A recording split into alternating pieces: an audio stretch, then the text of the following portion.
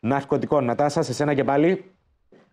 Ονούφρε, κυρίες και κύριοι, γεια σας ε, και πάλι. Να θυμίσουμε ότι είχαμε ραγδαίες εξελίξεις ό,τι αφορά την υπόθεση της απόπειρας πόνου του Νίκου Ροδοθέου τη Δευτέρα το βράδυ, καθώς ε, και για πολύ μεγάλη υπόθεση ναρκωτικών τριών κιλών κοκαίνης και 13 κιλών κάναβης. Υποκράτηση για τα ναρκωτικά βρίσκεται ο Αλέξης Μαυρομιχάλης, γνωστός ως Αλεξούη, ενώ καταζητούνται για την απόπειρα φόνου. Επίσης ο Ιωσήφ Ιωσήφ, άλλος σύφης 40 χρόνων, και ο Ντούτι Ρούντολφ από τη Σλοβακία, ιδιοκτήτης του σκούτερ που εντοπίστηκε και ο οποίος βρίσκεται στην αυστραλια Να πούμε ότι ο συνδετικός κρίκος και των δύο υποθέσεων είναι ο 26χρονος ο οποίος τελεί υποκράτηση, ο οποίος συνελήφθη όταν προσπάθησε να κρύψει μαζί με άλλους δύο το σκούτερ που πιστεύετε ότι ε, οδηγούσαν οι δράστες της απόπειρας πόνου εναντίον του Νίκου Ροδοτέου.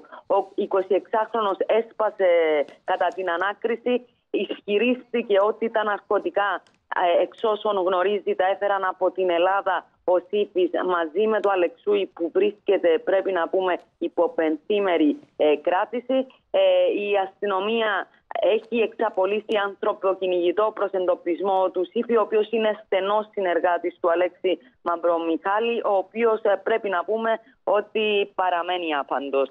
Μάλιστα. Σε ευχαριστώ πολύ, Νατάσα, για την ενημέρωση και πάλι. Πάμε στον Στέλιο το Χαραλάμπους από το Mega Live. Θα μας πει για αυτή την υπόθεση της ε, ε, σύλληψης 20χρονου, ο οποίος εξανάγκαζε, εκβίαζε ε, κορίτσια ανήλικα να του αποστέλουν γυμνές φωτογραφίες τους. Στέλιο Χαραλάμπους, καλό μεσημέρι.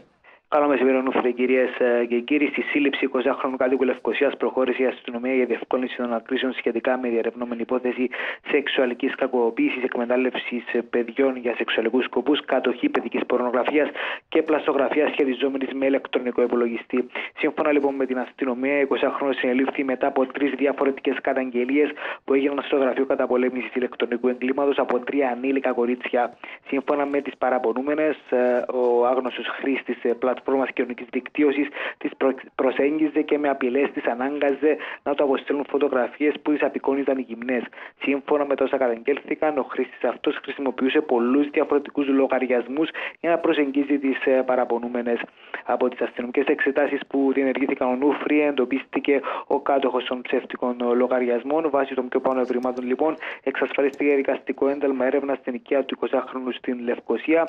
Ε, κατά τη διάρκεια της έρευνας, ε, εντοπίστηκε εντοπίστηκαν και κατασχέθηκαν ως τεκμήρια ένα κινητό τηλέφωνο και μια ηλεκτρονική ταμπλέτ, το γνωστό τάμπλετ, τα οποία θα σταλούν για να τύχουν ε, δικανική εξέταση.